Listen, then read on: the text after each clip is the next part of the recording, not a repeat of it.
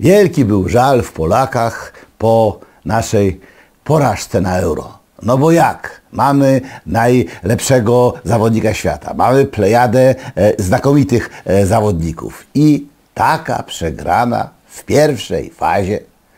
Następne dni trochę poprawiły nam humory, gdy patrzyliśmy, jak przegrywają i to sromotnie lepsi od nas.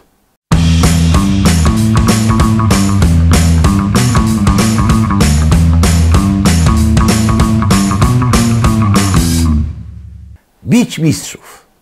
Jak nie kochać sportu? Nie patrzeć z nadzieją, jak dzielne średniaki arcymistrzów leją. Prysły kalkulacje, znikła arogancja, za burtą są Niemcy, Rosja, Szwecja, Francja, a dalsze rozgrywki, nasze swojskie gapy, jak Ronaldo z lewym obejrzą z kanapy.